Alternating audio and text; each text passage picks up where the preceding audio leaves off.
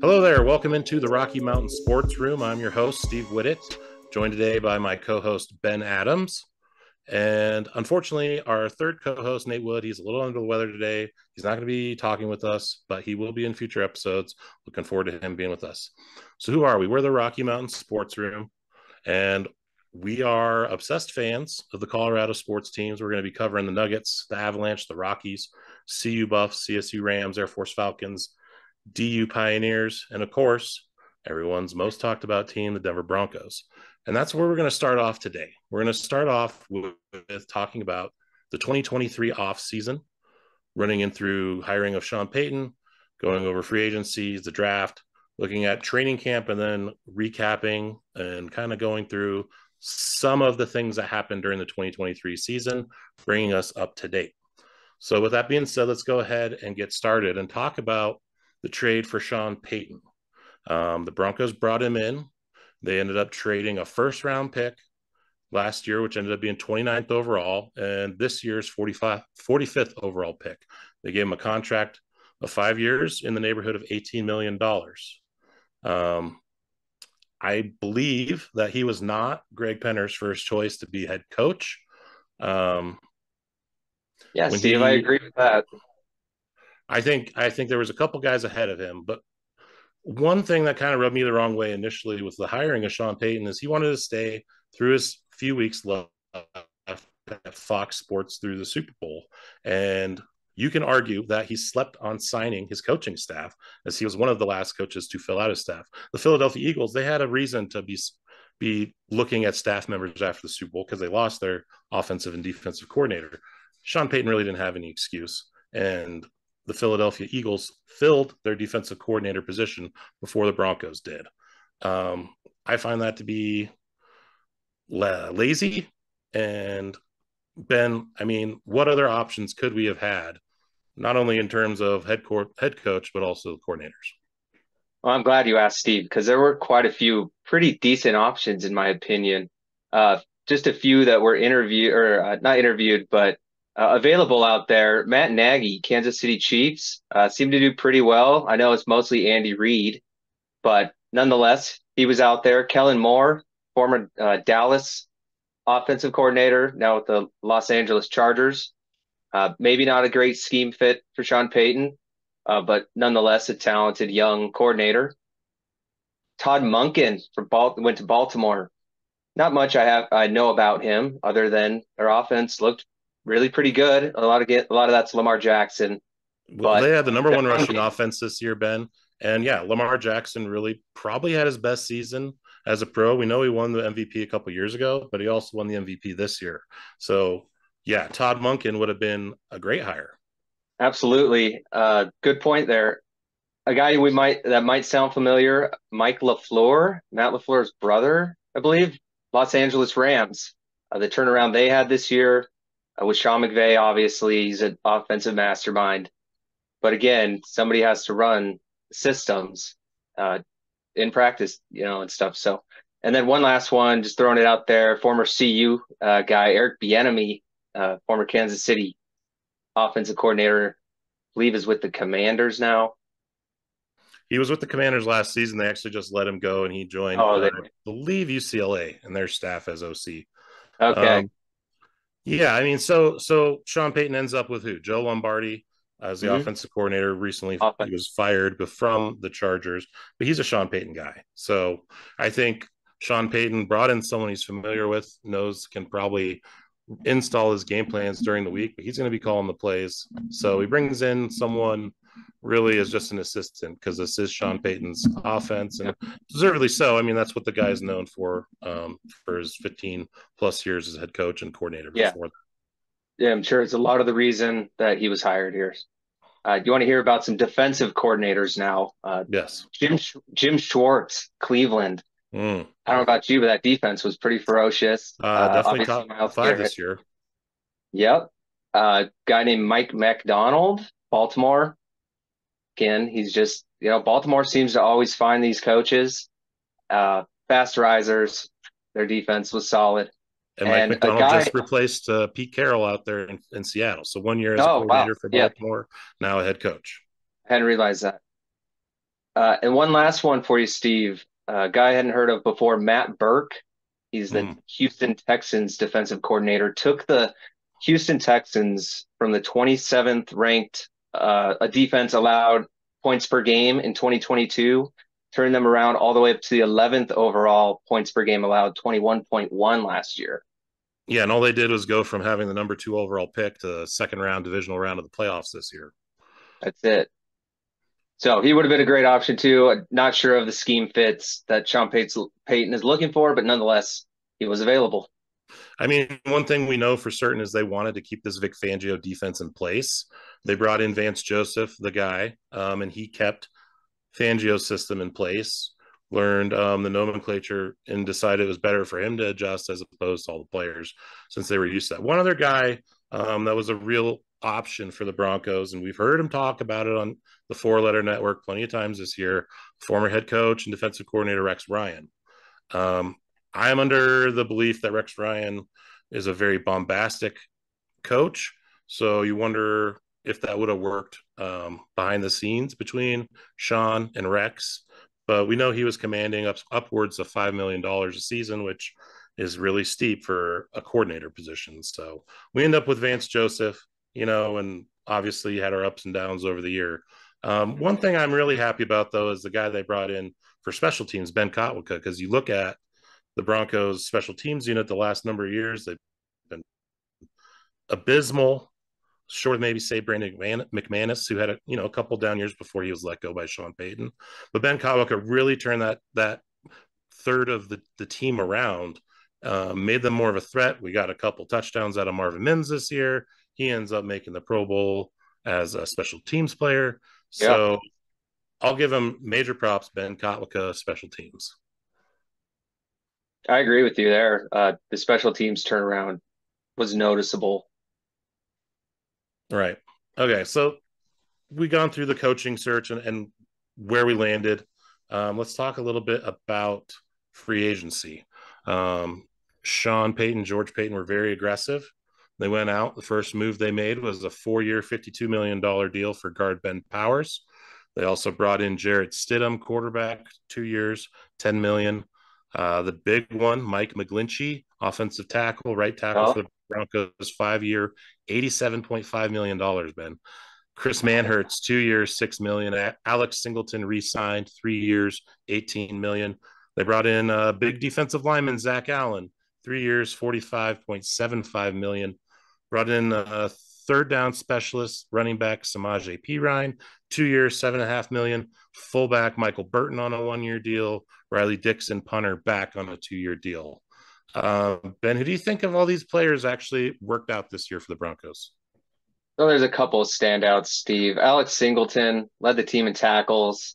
He was really solid. I know the run game was definitely not the best area of the defense, but he was able to rack up the tackles. Just ask anybody who uh, has an IDP position in fantasy football how many tackles he's getting per game. Uh, so he's a tackling machine. Good signing decent contract, you know, three years, 18 million, not completely breaking, breaking the bank for a linebacker. I also right. well, and you think about him too, like six million a year for an inside linebacker. That's not bad. It, no. Is he penetrating and, and, getting a lot of stops behind the line of scrimmage? No, he's cleaning up everything pretty much that comes through the middle, and that's how he's able to rack up those set, those tackle totals. Mm-hmm. So I think that was a great signing. But who else are you looking at? Well, we had we uh, you touched on Zach Allen. Uh, played better as the season went on. I thought maybe sl- slow start, new system, or maybe he's getting used to a new team. Still a good signing. Three years, forty-five point seven five million.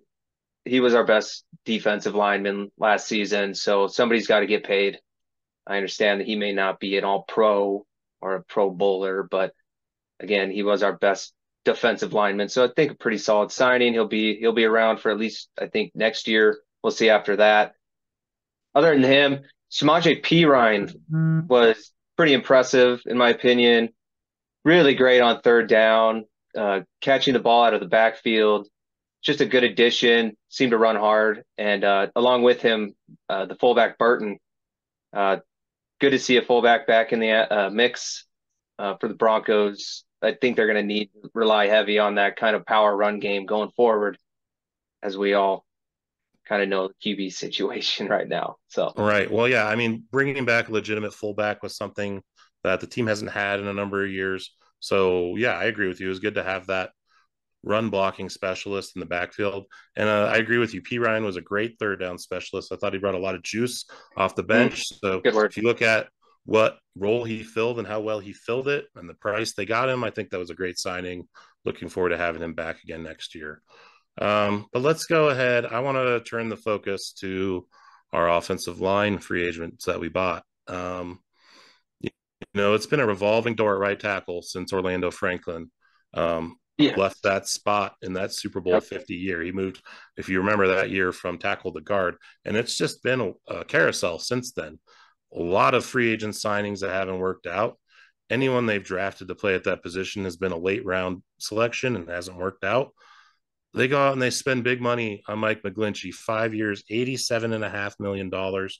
Talk was after he signed that deal, him, his agent said no one else called and even offered anything that close. Um, he was a decent run blocker this year, but really left a lot to be desired in pass protection. Ben Powers, you know, at offensive guard, I thought he had a better year, but he was a turnstile over there left guard in the pass pass blocking aspect mm-hmm. as well. Honestly, of the five guys, the two new guys getting all that big shiny new money were the worst in my opinion out of the five.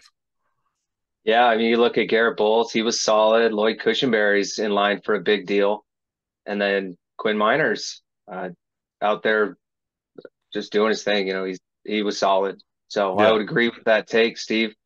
Steve, let's go ahead and talk about who hasn't worked out for free agent signings last season. First one on my list is Mike McGlinchey. Got the big contract, just hasn't been good enough in the pass pro. Pretty good in the run game. It's kind of a road grader. Same goes for Ben Powers, paying him pretty top dollar for the guard position. The Ravens still have the number one run offense without him, so that maybe says something there. He he also gave up a lot of sacks, uh, left me wanting more in the run game, especially with the contract. Yeah, I mean, when you think about the Broncos starting offensive line in 2023, the two weak links were the two big money guys they signed in free agency. I thought absolutely Garrett Bolles um, had a very solid year again, maybe not Pro Bowl status, but that game against Cleveland, he shut down Myles Garrett. Mm-hmm. Um, Lloyd Cushenberry, you know, had his struggles his first few years with the with the Broncos, but I think this new offensive line scheme, um, this power run game that Sean Payton brings, has really fit him. He's probably going to be the top free agent center this year, looking towards. Yep. Some people are estimating between 15 and 17 million a season. So, you know, with the current cap situation, it's highly unlikely he's coming back. And then Quinn Meinerz, easily our best offensive lineman right now, going into the last year of his deal coming up, he's got to be a priority for them. And let's just be real here, right? At right tackle, it's been a revolving door since Orlando Franklin left the team after, you know, what was that, 2015? Mm-hmm. They've just had guy in, guy out. And anytime they've gone into free agency, the guy hasn't worked out, they've overpaid. Anytime they've drafted someone at that position, it's been late and it hasn't worked out and hasn't been just hasn't worked at all. And you think about offensive linemen, the good ones don't hit free agency. The good ones get re-signed by their teams. It's very rare you'll see a tackle yeah. or a guard hit free agency if they're a good one. And then you always see every offseason there's guys dipping into that free agent market. Well, those guys hit the market for a reason. And until the Broncos figure this out, it's going to continue to be a problem. They have to address the offensive line in the draft. There's no other way around it maybe making a trade. That's it. But teams do not let the good ones go. I couldn't agree more. I think the route to take for any team that's going to be rebuilding as we're kind of facing down is to start with the inside out, start with that O line, and it got to go through the draft. We've seen it many examples here in Denver about how they've tried to bring in guys like McGlinchey, let's just say, and it's just not working out. So, Steve, you're onto something there hoping to see at least two linemen drafted this season. We'll get to that in the next uh, episode, uh, so I don't get to, into it too much. But I think you're onto something there. Well, yeah, you think about our tackles. We're paying our offensive tackles more than any other team in the league, and now we're just we're discussing maybe trade uh, relieve releasing Garrett Bolles and he's been, you know, a stalwart out there the last few years. Yeah. I mean, he had a couple rough years starting out. I think all of us were a little pissed off at the guy, but he's figured it out ever since, um, uh, you know, a few years ago when Fangio became the head mm-hmm. coach. Yeah. So um, let's leave that there. We're going to take a quick break. When we come back, we're going to take a look at the 2023 Broncos draft right here on the Rocky Mountain Sports Room.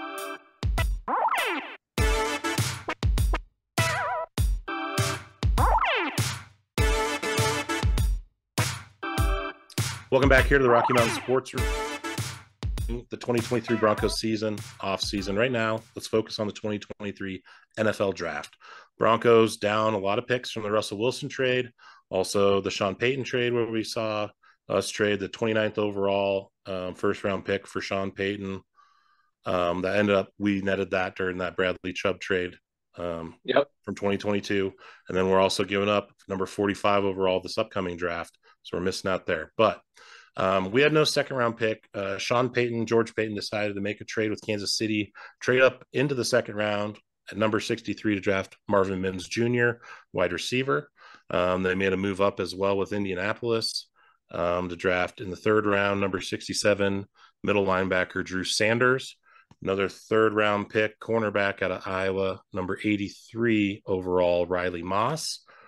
Then they didn't pick until the sixth round. Um, they got safety JL Skinner, who was uh, part of the Malik Reed trade with the Steelers. So we got that oh, right. for him. And yep. then uh, number 257, seventh over, seventh round, um, Alex Forsyth center. Um, on paper, doesn't sound very good. Sports Illustrated recently came out and, and rated each draft class, and, and the Broncos were rated number 32 of 32. Um, my opinion is still a little too early to judge. These guys need a couple years to adjust, especially guys later down in the draft list, which the Broncos had some of. Um, and also, Vance Joseph's known that he does not normally play rookies. But Ben, what do you see out of these players? What what did we get out of them in 2023? Well, the only player that I think we really got value on was Marvin Mims, the wide receiver. I made a couple good plays over the season. Had one real big play against Washington that I recall, week two. Other than that, he's been or is a great special teams player. Went to the Pro Bowl, in fact, as a special teams player. Overall, though, he just needs to improve on his route running. You know how guys take the year one, year two leap. We're looking for that. Yeah, I mean, he really ran a lot of like nine routes, the deep ball, mm-hmm. and otherwise we didn't really see a lot of him. And I don't know if that's it's a combination of Russ not being able to find him out there, um, or him just not really running the routes well. But that's what you keep hearing is he needs to improve that route running. I, am with you there. Yeah, hopefully he, hopefully he can be some dynamic. Drew Sanders, on the other hand, you know, he played a little bit early on, struggled. Down the stretch, he was a little bit better. But the thing with Drew Sanders right now is that they just are been decided to move him to an edge rusher as opposed to a middle linebacker. Now, the problem with that is why are we drafting a middle linebacker at that uh, Drew Sanders if we're going to move him to edge? You know, why not just draft an edge guy? So it kind of feels like a big miss to me. Well, yeah, and you think about it, we traded up for him. He was an early third round pick, and this is a a, a position that the that George Paton now has drafted twice, middle linebacker, with Baron Browning and now Drew Sanders moving over to the edge. So you know, yeah, they're rotational guys. At least we know Baron Browning is at this point. We'll see about Drew Sanders. We knew he was an edge rusher at Alabama. Um, you know, he was sitting behind uh, who was it? Will uh, guy who went to um, the Texans, Will Anderson oh, Jr. Will Anderson Jr. Yeah, only the defensive rookie of the year this year for the Texans. Yeah. um, he was behind him at Alabama, so he transferred to Arkansas. Had a really good senior year there, but you know, he was drafted as a middle linebacker, as was Baron Browning, and they have not been able to to find a replacement there um, for Josey Jewell, which is what it's supposed what he's supposed to be. Right. So, uh, you see anything other else? Than that, other than that, Moss was hurt in camp. Uh, he really only played on special teams this season, and then uh, Skinner you mentioned, special teams guy. Uh, maybe he starts to contribute year two and Alex Forsyth, he didn't get any game action at all. So, you know, maybe yeah. he is the replacement for Lloyd Cushenberry. Well, I guess we'll go see. But seventh rounder. Maybe the expectations are that he's kind of valued where he was drafted and isn't that great. So, yeah, and I think we'll next episode, next episode, we're going to spend some time looking at George Paton draft history here with the Broncos. We'll spend a little time looking at Sean Payton's overall draft draft history, dating back to his days with the Saints. But let's face it, the last couple years and this year, pretty rough. I mean, if yeah. all we get out of it is a return man as a second round pick, that's going to be that's not going to age very well, like some of those old yeah. Elway drafts that we're still looking at. Absolutely. Okay, so, yeah. One last one last thing, Steve, before you move on. Anytime you're you're trading all your first round draft picks, second round draft picks for players and coaches, you're bound to have a lesser draft than say teams at the you know first half of the draft. Just as a side note, uh, maybe I'm sticking up for uh, George Paton a little bit. Well, yeah, I mean, you get it. The draft cupboard was bare, but he brought that on himself. You know, he's the one that made trade true. for Russ. Yeah. Um, we all know how that hasn't worked out. You know, he recently just left the team. We'll talk about that a little bit here at yep. the end of this episode. But um, yeah, the draft overall at the moment doesn't look very good. Doesn't look like we really got any kind of depth guys uh, moving forward. So that is still too early, like we talked about, to tell. I think these guys deserve a couple years um, to see if they're still on the team and can make any kind of headway on the roster. But um, let's leave that there. We're going to take a quick break. When we come back, we're going to review the 2023 season, the lows, the highs, the in betweens, what the hell were they thinking by not making any trades. We'll be right back.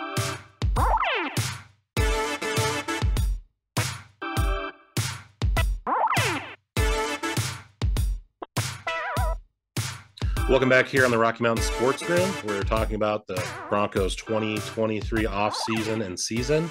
We left off uh, with the draft. Now we're picking up in training camp. Um, Sean Payton, he had a much different style in training camp than our his predecessor, um, sure. Nathaniel Hackett. Starters played in every game. He had definitely more of an old school vibe. I don't know if you remember, media members weren't allowed to talk to players during this time. Um, in the off season, he sat down with players. He said they need to become anonymous donors. He didn't want them posting workout videos, hyping themselves up. Told Russ not to kiss babies. And right. then he comes out during training camp and this interview drops um, where he rips Nathaniel Hackett to shreds, saying it's the worst coaching job he's seen in the history of the NFL. He's going to be pissed off if this team doesn't make the playoffs. He's doing exactly opposite of that anonymous donor's attitude that he told his players to abide by. Now, say what you will about Sean Payton, the guy rubs people, some people, the wrong way. That's the way he is. He's not going to change. But I don't know that's the foot you want to start out with, telling people to be anonymous donors and then going out before the season even starts and just trash talking the guy that was there before. Goes against the NFL coaching code, so to speak, but he mm-hmm. did it anyways. I don't know if that was just a bloviate on himself, maybe pick up Russ a little bit. Felt like he might be trying to do that. Maybe just shy some blame away from Russ and give more to the organization and coaching staff from before, but left you scratching your head. To be honest, though, I was happy with what I saw in training camp in the preseason games. The starters need to play. It's a war of attrition out there. They need to get their bodies ready. They need to get used to game action. You can't replicate that in practice. Mm-hmm. Yeah, with a new, can't new hit everyone on the field. So yeah, yeah, yep, we got a systems, whole new offensive system, completely new different. Coach, new terminology. I'm very happy they went that route, and it probably did uh, help the season early on, even though the success wasn't there. Let's uh, let's quickly just mention there was a couple uh, trades for former Saints. Sean Payton, obviously the former head coach of the New Orleans Saints, he traded for Adam Trautman, tight end. Traded a pick number 257 for pick uh, 195, but we also received Adam Trautman. Not much to be said there. He's a role player kind of guy, run blocker, tight end type. And then the one that's a real head scratcher, Steve, is the trade they made with the Saints for Wil Lutz. We traded a seventh round pick to the Saints. It was looking like at the beginning of the season, the reports were that Wil Lutz was going to be cut. So it's real, it is real head scratcher yeah, they they brought in a rookie kicker and they kept him over Wil Lutz. So head yeah. scratching move to trade a draft pick for a kicker, where most of these guys aren't drafted. Maybe one every once in a while gets drafted, not that not every season does a guy get drafted. So why we're giving up a seventh round pick for him beyond me? Because like you said, it was very, very likely he was going to get cut. We could have just mm-hmm. brought him in and gave the yep. Saints nothing for it. Um, yeah, let's let's leave that there. Got those former Saints. I mean, let's talk now about the season and how it went. Yeah. Week one, home opener, Las Vegas Raiders. They lose 17 to 16. Uh, very frustrating game. You and I were at the game. We have season tickets. You were very incensed at the end of this one. Same old Broncos is what I kept hearing from you. Um, and let's face it, Sean Payton's new guy that he just traded a draft pick for left four points off the board. Yeah, the missed extra point and a missed field goal. The difference in that game being one point. Move on to the next week, week two, 35 33 loss to the Washington Commanders we were at that game. I was incensed after this you one. Were. Yeah, uh, we were leading big in that game. Sam Howell came back, storming back, took the win. Uh, it was the start of the debacle that was the Miami Massacre in Week Three, losing seventy to twenty to the Miami Dolphins. Oh boy. Mike McDaniel came out, slapped Sean Payton around, slapped Vance Joseph around. The writing was on the wall after that Commanders game Yes, it was. And and Mike McDaniel came out and just he took he took his foot off the gas. That would have been the biggest blowout, the most points scored, the yep. most yards um, accumulated in a game. Mike McDaniel, thankfully, Smoky High, Smoky Hill graduate over here mm. in Aurora, took it easy on him, took took the foot off the gas. But man, what a what a mess. I mean, I was so mad. I wanted them to leave Vance Joseph in Miami, make him fly Southwest home. I was there with you on that especially after that Commanders game where they blew such a big lead. I believe it was 21 to 3 uh, in the maybe early third quarter or late second half. Uh, I know the Commanders scored three unanswered. They uh, got two two scores right before half and a third right after half to really erase that big lead. So you're right. It was absolutely leading into that Dolphins game uh, with the defense struggling to say the least. I mean, 105 points given up in two weeks really bad. Um, but huh. we'll move on. Everyone wanted Vance Joseph fired after that point. Sean Payton stuck with him. It seemed to be a good move as the season went on. I mean, and who are you going to get anyways at that point if you fire a guy in the middle of the year? Yeah. So I mean, he, he he held on to him. You know, in in retrospect, it ended up being fine because they did improve over the year. Uh, week four, Broncos finally get their first win. They play the Chicago Bears. They made a good comeback in that one, winning thirty-one to twenty-eight. Um, then bring it back to week five. Nathaniel Hackett with his revenge game with the Jets. Zach Wilson probably had one of his best games of the year 31 to 21 Jets. Really low point after that one. I mean, one and four going into then to Kansas City, really putting up a dud on offense, losing 19 to 8. I mean, anytime you can hold the Chiefs to under 20, you got to find a way to score points it felt like we had it, except the offense just couldn't do anything. Yeah, I couldn't do anything against that Chiefs defense, which did turn out to be one of the league's best, if not the best. They finished top five for sure. But yeah. I'm thinking at this point, we're one in five. Why the hell are we talking about tanking? What are we doing? Why are we paying all these old veterans when we can't compete? Mm. You know, this is the point in the season where we traded Randy Gregory.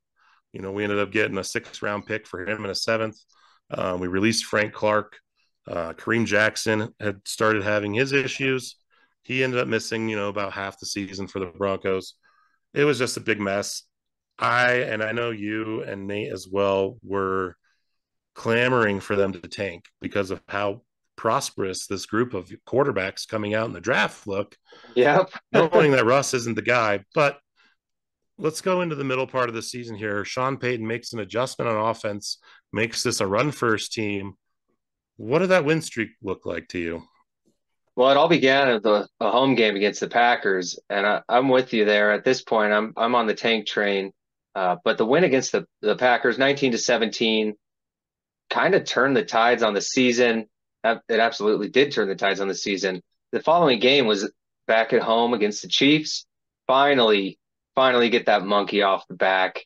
24 to 9, Broncos pull off a big win. I know that was the Mahomes quote flu game. but whatever, I will take it. To me, this is the highlight of the season. Wonderful to see us finally beat the Chiefs. Absolutely. So, at, at this point, I just want to ask you, Steve, after that Chiefs win, how are you feeling about the team? You, are you starting to believe, you know, the team's looking good? They took down the rival, two game win streak. What are you thinking? I'm thinking trade the team. The trade deadline's two days after that. I know we just got this big emotional win, but guess what? Yep. Sean Payton and George Paton are right there too. Because the day after the Chiefs win, what do they do? They call Russ and say, "Hey, we need you to adjust your injury guarantee, or else you're going to ride the bench." So let's face it, these guys were with us. They're saying we're not good enough to compete this year. This guy is not competent enough to run the offense I want to run. I'm making adjustments right now to try and win some games, keep us in these games.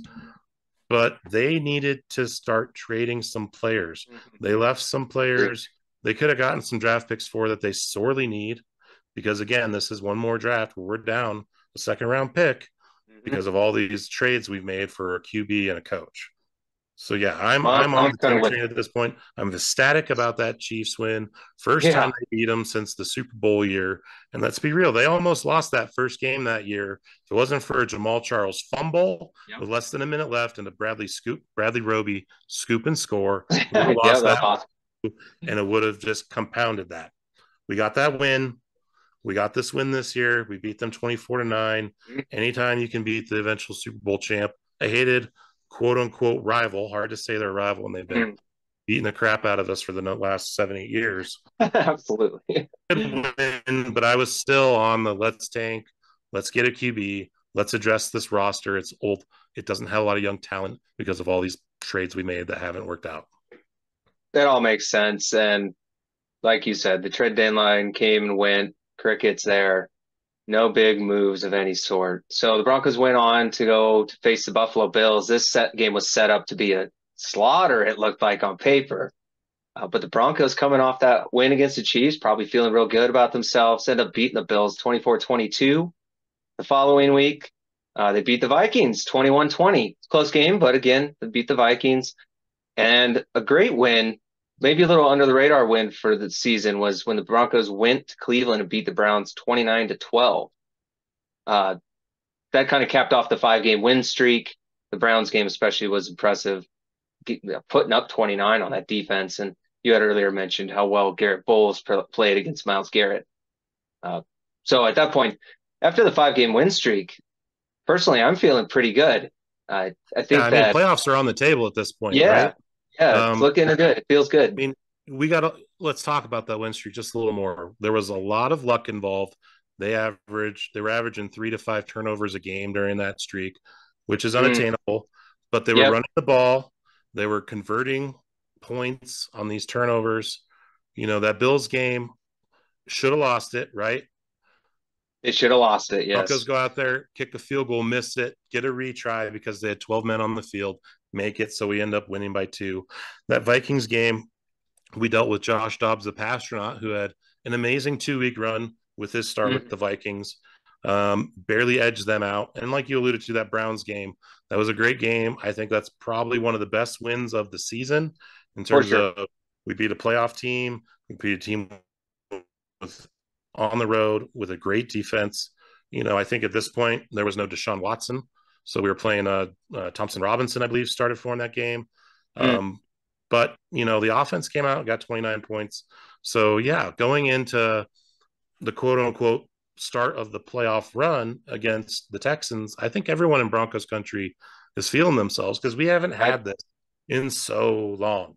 This Absolutely. during a season, so everything's working.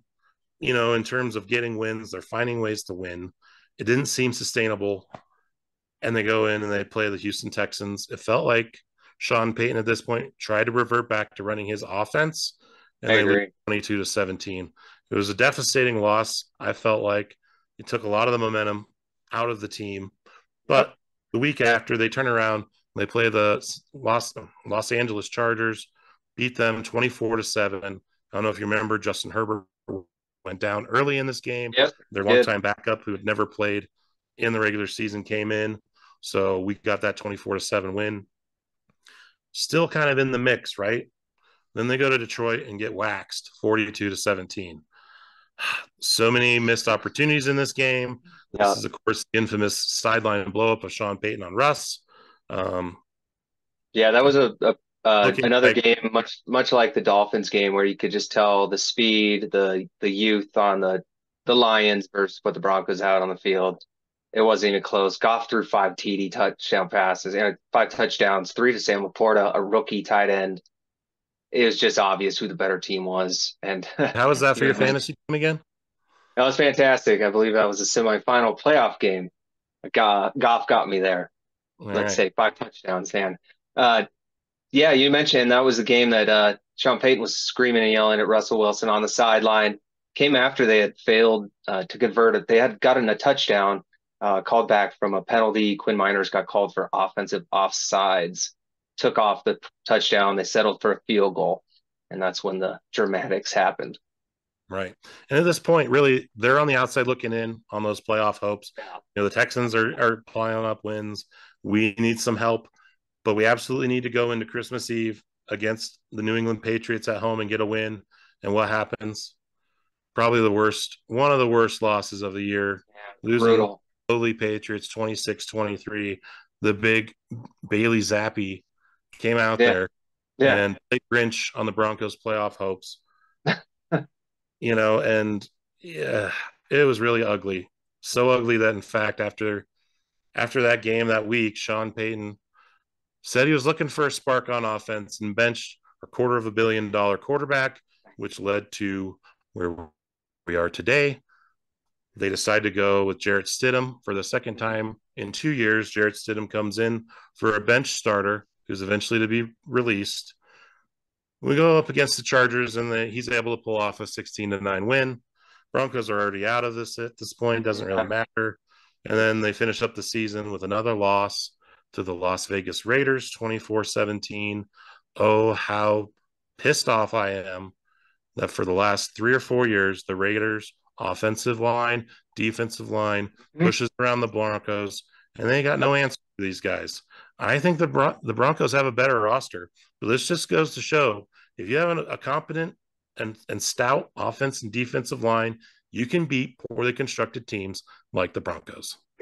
Yeah, and the Raiders just own the Broncos, swept on the season again for at least the third straight year. Yep. To wrap up the year. Yeah, I think we're at well, number seven in a row now. So okay, um, really rough. But yeah. you know what? What do we think about this season? I mean, we finish eight and nine. It's the most wins we have since Gary Kubiak. Um, you know, three more wins than last year. Okay, steady improvement. Again, I feel like a lot of those wins were kind of lucky because you can't rely on those kind of turnovers game in game out to carry you through defensively. Yeah. When your offense struggles to score points, you're paying a guy at quarterback a quarter of a billion dollars and he can't make the players around him better. That's why you pay these guys that kind of money. They're supposed to elevate the talent around them. You listen to the talking heads on ESPN, they're saying, oh, well, he doesn't have these good players around him. What happened with the Kansas City just a couple years ago? They trade Tyreek Hill because they expect their big money quarterback mm-hmm. to make up the difference. And what have they done since then? Won the Super Bowl twice. So I don't want to hear it when it comes from the talking heads about how we didn't have enough to work around him. The guy couldn't master the offense. Yep. Sean Payton had to tr- change everything to try and keep us in games because Russ just couldn't make the reads, couldn't make the throws. You know, he he's great when protections break down and he's able to improvise, but under structure, making progressions, that is not his strong suit. And that's exactly what Sean Payton expects from his quarterback. It's no shock to me at all that Russell Wilson has now been cut. Yeah, it's all about rhythm and timing with Sean Payton's offense. Uh, when you watch Russell Wilson back there, he, he, he just never did work. Uh, too much scrambling when there's not pressure, too much holding onto the ball, and just not not the kind of guy he needs uh, my overall feeling about the season is that it was about what I expected, Steve. Uh, I really felt that Sean Payton would improve the team, and it, it, was obvious he did. Things were more structured, more disciplined. There were some bad moments in the season, of course, but nothing like the Nathaniel Hackett clown show we saw the year before. Yeah, it was nice uh, having an adult in the room running the show. Yeah, it's a good way to put it. The one in five start was pretty brutal. It really did seem like a missed opportunity there for uh, to kind of look at the roster, see who could be moved, get in some draft capital, try to rebuild this thing. So that's a big takeaway is just the missed opportunity there to get some more uh, draft capital. But after the five game win streak, Steve, I tell you, I was feeling pretty good. We we kind of said how you know it's been a long time since we've ever even had a five game win streak here in Broncos country. So it or had meaningful games December, right? Yeah, absolutely. There hasn't been a meaningful game in December. So it felt really good as a fan to kind of get that feeling back, say, hey, we're in this. We got a shot. We can at least make a push for the playoffs. But I do think that we all saw the writing on the wall in in many ways. Cold. Yep, with the turnovers you mentioned, Russell Wilson down the stretch, that kind of debacle, him and Trump Payton not on the same page. The late season losses then were predictable with uh, the QB situation. So overall, though, about what I expected. Wanted them to make the playoffs, expected them to make the playoffs. Unfortunately, maybe that's this year. We'll uh, see it. Yeah, I mean, 2023 disappointing.